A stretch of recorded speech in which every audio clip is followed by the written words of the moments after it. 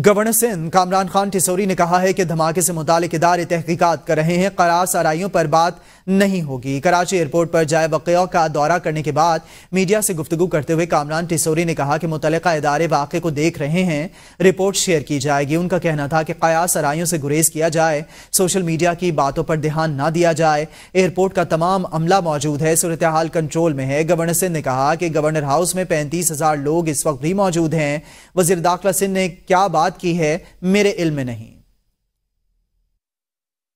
तमाम जो इदारे हैं वो इस पर तहकीकात कर रहे हैं और जो भी रिपोर्ट आएगी वो आप लोगों से भी शेयर कर ली जाएगी। जो एयरपोर्ट है हमारा अल्हम्दुलिल्लाह उस पर तमाम जो फ्लाइट्स हैं वो टाइम पर जा रही हैं। तमाम जो एयरपोर्ट का आ, अमला है वो मौजूद है।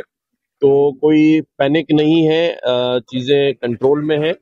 और जो कुछ भी अभी बातें आ रही हैं, क्या आ रही हो रही हैं, उस पर मैं समझता हूँ, कोई ना कान धरे, ना उनको सुने। इस वक्त मैं गवर्नर हाउस से आ रहा हूँ जहाँ पर डॉक्टर जाकिर नाइक साहब का प्रोग्राम अभी तक जारी और सारी है, जिसमें तकरीबन पैंतीस हज़ार के करीब लोग जो हैं इस वक्त गवर्नर हाउस में है। मुझे नहीं पता कि जिया लंजार साहब ने क्या बात की है। मैं ज़िम्मेदारी के साथ आपसे बात कर रहा हूँ। खैबर पख्तूनखा हाउस में मुझे गालियाँ दी गई। आईजी ने माफ़ी ना मांगी तो बदला लूँगा। वज़ीर अला खैबर पख्तूनखा अलियमीन गंडापुर कहते हैं के पी के हाउस हमारा घर है। जुर्रत कैसे हुई खैबर पख्तूनखा हुकूमत को हाथ लगाने की एक एक से हिसाब लेंगे। के पी हाउस में अभी तक बंदे बिठाए हुए हैं। मेरी गाड़ियाँ छीन ली गई हैं। मेरे गार्ड्स को मारा गया। मुझे अगर कुछ हो जाता तो कौन जिम्मेदार होता? इस फ्लोर पर आईजी को माफ़ी मांगना होगी ऐसा ना हुआ तो एफ़ आई आर दर्ज कराएँगे। आईजी साहब आईजी रहने के लिए इतने भी नीचे ना गिरो। कि मुझे गाली दे कह रहा है वहाँ पर। कहा है सीएम तुम्हारा? के पी हाउस की एक एक चीज़, जो इसे तोड़ी है, ये सिर्फ़ माफ़ी नहीं मांगेगा, बना के भी देगा। सबूत मौजूद है। खुली हुई अलमारियों क्यों तोड़ रहा है ये? खुले हुए दरवाजों क्यों तोड़ रहा है ये? इसकी ज़रूरत कैसे हुई है कि पख्तूनख्वा की हुकूमत को हाथ डाल रहा है? और यहाँ तक स्पीकर साहब, इस फ्लोर पे माफ़ी मांगेगा वन एफ़ आई आर कराएँगे। एफ़ आई आर में पेश नहीं होगा। जहाँ पे होगा, अपनी बेदती का बदला लेके दम लेंगे हम। वजी अला खैबर पख्तूनखा अलियमीन गंडापुर की दो दिन बाद एंट्री, वो अचानक सुबह असम्बली में दाखिल हुए। खैबर पख्तूनखा असम्बली में शाम से शुरू होने वाले इजलास में स्पीकर ने वजी अला अलियमीन गंडापुर समेत दीगर लापता अरकान के प्रोडक्शन ऑर्डर जारी किए थे। वजी अला अलियमीन गंडापुर गुजशत दिन से लापता थे। उनसे मुतालिक मुख्तलिफ़ कयास आराइयाँ जारी थी कि इन्हें विफाक ने हिरासत में ले लिया है। विफाकी वज़ीर दाखिला समेत हुकूमती वजरा इस बात की तरदीद करते रहे हैं, जबकि पीचाई रहनुमा हुकूमत पर गिरफ्तारी और गुमशुदगी का इल्ज़ाम लगाते रहे। अलियमीन गंडापुर गुजशत रोज इस्लामाबाद पहुँचने के बाद केपी हाउस पहुँचे थे, जिसके बाद पुलिस और रेंजर्स ने केपी हाउस पर रेड किया, जिसके बाद से अलियमीन गंडापुर की कोई खबर नहीं थी। सारी रात केपी हाउस में था यह है तुम्हारी परफॉर्मेंस खैबर पख्तूनखा हाउस पर शेलिंग की गई, हल्ला बोला गया तोड़ फोड़ की गई। हमारी पार्टी पर हमला करने वाले आज बेनकाब हो रहे हैं। वज़ीर अला के पी अलियमीन गंडापुर ने सुबह असम्बली में खिताब में कहा, पार्टी का निशान छीना गया, हमारे कारकुनों पर बदतरीन तशद किया गया। हमारी पार्टी को दीवार से लगाने की कोशिश की गई। बानी पीटीआई इस कौम की जंग लड़ रहे हैं। बानी पीटीआई ने कई बार कहा कि मुल्क के लिए मुजाकर के लिए तैयार हूँ। हुकूमत को पीटीआई से कुछ चीज़ का खौफ है। गवर्नर राज की धमकियाँ देते हो, हम तुम्हारी धमकियों से नहीं डरते। खैबर पख्तूनखा में गवर्नर राज लगाकर क्या कर लोगे? तुम्हारी परफॉर्मेंस सुन ले फेडरल गवर्नमेंट तुम्हारे आई परफॉर्मेंस पहले ये है कि हम पहुँचे डी चौक पे इससे।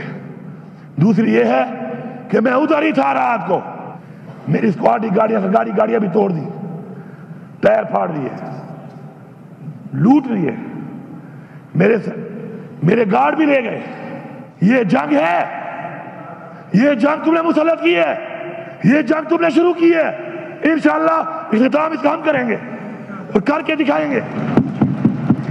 इससे बेहतर है पाकिस्तान के मफाद के लिए। इमरान खान हमेशा कहता है, जेल जाने से पहले भी कहा उसको ये ना कहे कि उसे जेल में जाके कहा। उसने जेल में जाने से पहले कई बार कहा कि मैं पाकिस्तान के लिए मुजाकर करने को तैयार हूँ। ये धमकियाँ गवर्नर राज लगा लेंगे। तो क्या कर लोगे? ये भी ये भी। इधर जड़ पे किए मुल्क पे किए कर लो। फिर क्या हो जाएगा? वज़ीर दाखिला मोहसिन नकवी की बात करें तो वज़ीर दाखिला मोहसिन नकवी ने कहा है कि खैबर पख्तूनखा हाउस पर जब पुलिस ने छापा मारा, तब अलियमीन गंडापुर निकल गए थे। पीटीआई का मकसद यही था कि धरना दें और एससीओ कॉन्फ्रेंस ना हो। इनका ख्याल था कि किसी तरीके से कोई लाश गिरे, अटक पुल क्रॉस किया तो इनकी प्लानिंग का पता लग गया। पीटीआई के जो भी अजायम थे वो पूरे नहीं हो सके। सदर और वजीरा से मुशावरत कर रहे हैं, जो फैसला हुआ वो करेंगे। ये कारकुनान को जेल भिजवाएँगे, खुद घर में बैठे रहेंगे। कैपेसिटी इसकी तकरीबन तीस हज़ार से ऊपर चली जाएगी। अभी बाईस हज़ार थी थर्टी थाउज़ेंड चली जाएगी। वो हमारे पास वीडियो हमने जब उन्होंने पुलिस ने रेड किया था रेंजर और पुलिस का तो उस टाइम पे आ, हमें पता चल गया था वो निकल गए हुए थे। आज मुझे सर ने कहा नहीं ऐसे ना करो उनको बताओ क्या गलत है। मैंने कहा जब किसी ने तस्दीक नहीं की कुछ नहीं कि उन्होंने चला दिया तो कम से कम उनको फिर कई बंदों को ला के दें। एनी फिर हमने आज वो वीडियो रिलीज़ की। और आगे भी अगर वो करेंगे यही करेंगे कारकुनों को जेल डलवाएँगे खुद बैठ के अपने घर से कह देंगे कि हम तो यहाँ पे बैठे यहाँ पे बैठे तो आ रहे हैं जो भी अभी तो उनकी मेरे ख्याल में मीटिंग्स की डिटेल्स तय नहीं हुई हैं। लेकिन इंडियन टीम मुझे बड़ी उम्मीद है कि अभी तक कोई ऐसी चीज़ नहीं है जिसकी वजह से वो पोस्टपोन करे या कैंसिल करे। तो सारी टीमें आएँगी इंशाल्लाह। अलियमीन गंडापुर कारकुनों को छोड़कर फरार हो गए थे। पिछले 24 घंटों से कहाँ छुपे हुए थे? विफाक वज़ीर इतलात अतार कहते हैं कि खोदा पहाड़ निकला चूहा। अलियमीन गंडापुर का झूठ सामने आ गया। अलियमीन गंडापुर एक गैर जिम्मेदार शख्स हैं। हुकूमत का मौकफ सच साबित हुआ। तहरीक इंतज़ार का मकरू चेहरा कौम ने देख लिया। नौ मई को इनके लोगों ने रियासती इदारों पर हमला किया। तो ये पिछले 24 घंटे कहाँ थे? ये कहाँ छुप छुप के गुजारा कर रहे थे? कि अली अमीन गंडापुर जो अपने कारकुनान को, अपने साथियों को छोड़कर भाग गए थे और केपी हाउस चले गए थे, ऐसा कभी देखने में नहीं आया कि एक शख्स जो है, एक लीडर, लोगों को लीड कर रहा हो और उनको बेसरो समानी की हालत में छोड़ के खुद फरार हो जाए और रेस्ट हाउस में चला जाए, वहाँ पनाह ले ले और जो मकार और जो फरेबी और जो झूठे इल्ज़ाम लगाने वाले लोग हैं तरीके इंतशार के उनका मकरू चेहरा पूरी कौम ने देख लिया है कि कभी फौज पे इल्ज़ाम, कभी आर्मी चीफ पे इल्ज़ाम, कभी वज़ीर आज़म पे इल्ज़ाम। नौ मई तो आप पे साबित है। तो जब नौ मई का आप कहते हैं ड्रामा है तो ये आपने क्या किया? अलियमीन गंडापुर ने असेंबली में पहुंचकर ड्रामा किया। पीटीआई इस ड्रामे में लगी थी कि वज़ीर आला मिसिंग पर्सन है। राना सनावला कहते हैं कि अलियमीन डी चौक पर कहाँ आया? अलियमीन गंडापुर 26 नंबर चुंगी से गायब हुआ। इनको वहाँ से पकड़ना चाहिए था। इनका मंसूबा पाकिस्तान के खिलाफ प्रोपोगेंडा करके बदनाम करना था। इनका मंसूबा था कि एससीओ कॉन्फ्रेंस को सबुताज किया जाए। पाकिस्तान माशी बहरान से निकल रहा है। ये चाहते हैं कि ना निकले। आपको बताएँ कि सेनेटर फैसल वावडा ने कहा है कि कल रात ही तरीक़ वारदात बता दिया था कि गंडापुर कैसे डिग्गी में गए। खैबर पख्तूनखा हाउस इस्लामाबाद के पीछे उमर अयूब का घर है। पहला सवाल यह है कि अलियमीन डी चौक से के पी हाउस क्यों गए? अब अलियमीन ने के पी हाउस से खुद निकलने का एतराफ कर, कर लिया है। इल्ज़ाम लगाने वालों के खिलाफ क्या कार्रवाई होगी? पीटीआई वालों को कहता हूँ कि अपनी इसलाह कर लें। गवर्नर खैबर पख्तूनखा फैसल करीम कुंडी का कहना है कि अलियमीन कारकुनों को छोड़कर भागे थे। अलियमीन गंडापुर पहले भी सात घंटे रूपोश रहे। अलियमीन गंडापुर का मंजर आम पर आना, अपनी गिरफ्तारी का इल्ज़ाम लगाने वालों के मुँह पर तमाचा है। अलियमीन गंडापुर विकेट के दोनों तरफ़ खेल रहे हैं। लाशों की सियासत का इनका मनसूबा था, जो नाकाम हो गया। वजी अजम मियाँ मोहम्मद शहबाज शरीफ से विफाकी वजी दाखिला मोहसिन नकवी की मुलाकात हुई। विफाकी वजी दाखिला ने वजी अजम को इस्लामाबाद की ताज़ा तरीन सूरत हाल पर ब्रीफिंग दी। वजी अजम ने कहा कि इस्लामाबाद पर धावे को नाकाम बनाने पर इस्लामाबाद पुलिस ने शानदार किरदार अदा किया। पाक फौज, पंजाब पुलिस और रेंजर्स के दस्तों ने भी इस्लामाबाद में अमन अमान की सूरत हाल बरकरार रखने में कलेदी किरदार अदा किया।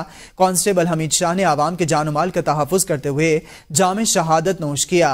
कौम यह कुर्बानी हमेशा याद रखेगी, शहीद कॉन्स्टेबल के अहल खाना के दुख में बराबर के शरीक हैं। इस्लामाबाद के शहरियों के जान माल के तहफ़ और हिफाजत को यकीनी बनाया गया। सूरत हाल तेज़ी से मामूल की तरफ़ लौट रही है। मीशत की तरक्की और ममलिकत खुदादात की खुशहाली हमारी अवलिन तरजीह है। सियासी मुखालफिन को पाकिस्तान की मीशत में बेहतरी हजम नहीं हो रही। वजारत दाखिला ने डी चौक एहतजाज में खैबर पख्तूनख्वा की सरकारी इमला के इस्तेमाल पर तहकीकती कमेटी तश्कील दे दी। तीन रुकनी तहकीकती कमेटी एहतजाजी रैली में सरकारी इमला के इस्तेमाल के बारे में तहकीकत करेगी। विफाकी महकमा दाखिला ने कमेटी को सात दिन के अंदर तहकीकती रिपोर्ट जमा करने की हिदायत की है। एलामिया में कहा गया कि कमेटी इन बातों की निशानदेही करेगी कि चार और पाँच अक्टूबर को धरने के लिए कौन सी सरकारी गाड़ियाँ लाई गई। एहतजाजी रैली में शरीक सरकारी गाड़ियों की तादाद कितनी थी? रैली में सरकारी गाड़ियाँ लाने की इजाज़त किसने दी थी और वो आला अफसरान कौन थे जिन्होंने आमादगी ज़ाहिर की कि एहतजाजी रैली में सरकारी इमलाक को इस्तेमाल किया जाए?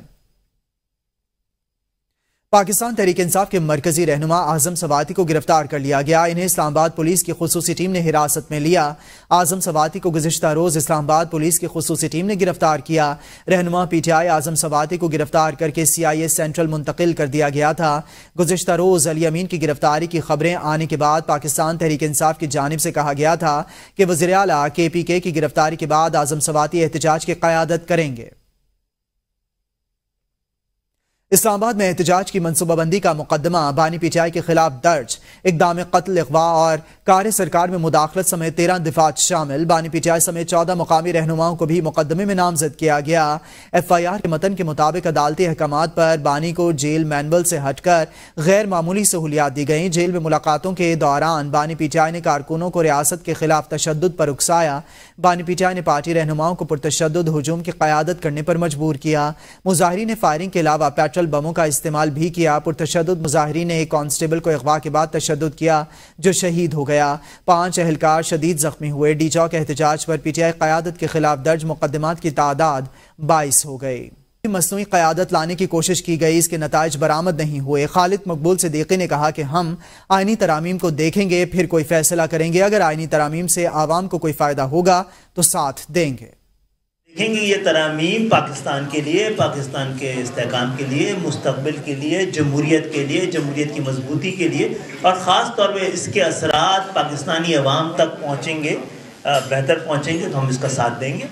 आप सही कह रहे हैं, एक कॉम्प्लेक्स सूरत हाल ये कि सूबों ने भी एच एस सी बनाई हुई है, जो शायद अट्ठारहवीं तरमीम में इसका तकाजा नहीं था।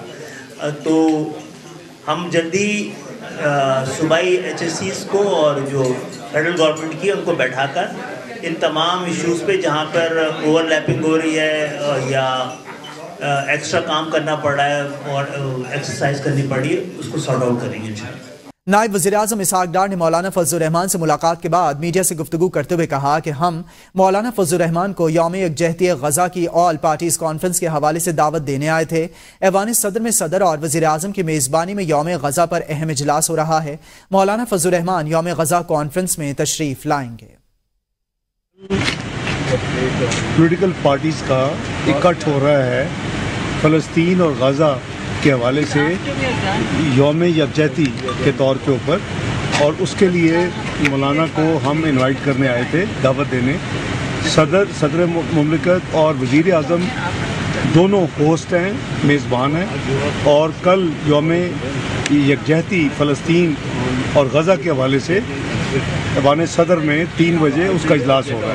और मौलाना उसमें तशरीफ़ लाएँगे और उसमें शिरकत करेंगे हम उनको दावत देने आए। अमीर जमात इस्लामी की बात करें तो अमीर जमात इस्लामी हाफिज रहमान कहते हैं इसराइल सबसे बड़ा दहशत गर्द मुल्क है। इसराइल को लगाम लगाने वाला कोई नहीं है। अमरीका भी इसराइल के साथ मिला हुआ है। अमरीका इसराइल को असलहा फराहम कर रहा है। इसराइल दहशत गर्दी और हमारे बच्चों को शहीद कर रहा है। दुनिया के बाज़मी लोग फलस्तीनियों के साथ खड़े हैं। हमारा अलमिया है कि मुस्लिम ममालिक अपना किरदार अदा नहीं कर रहे।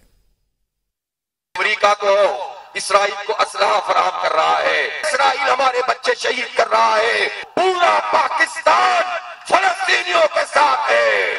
पूरा पाकिस्तान गजा के साथ है कि जो हुक्मरान ममालिक है, मुसलमान ममालिक, जो अरब ममालिक है, वो अपना रोल अदा नहीं कर रहे हैं। पुलिस गर्दी की बात करें तो एबी न्यूज़ के रिपोर्टर जाहिदा राव के साथ पुलिस की बदतमीजी, मोबाइल छीनने की कोशिश की गई। जाहिदा राव को गिरफ़्तार करने की कोशिश की गई। एहतजाज की कवरेज के दौरान एबीएन की खातून रिपोर्टर जाहिदा राव के साथ पुलिस ने बदतमीजी की। इनसे मोबाइल छीनने और वीडियो डिलीट करने को कहा जाता रहा। कार्ड दिखाने के बावजूद पुलिस कहती रही कि आप सहाफी नहीं। पुलिस की जानब से जाहिदा राव को गिरफ़्तार करने की कोशिशों पर सहाफी ने मुदाखलत की और जाहिदा राव को गिरफ़्तार होने से बचा लिया।